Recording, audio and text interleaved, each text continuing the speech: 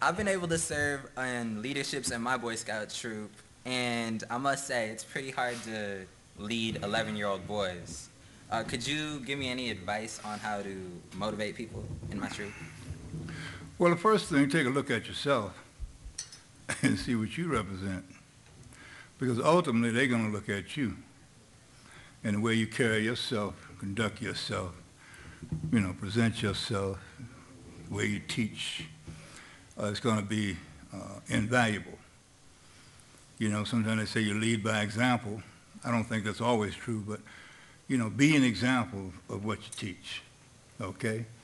And most of all, be honest. Be honest with them. And if you're honest and you deal from the value points, you can't go wrong. But you must keep the value points there and you're honest. Then sometimes it's going to be controversial. Sometimes it's not going to be what you think, but in the end you'll win.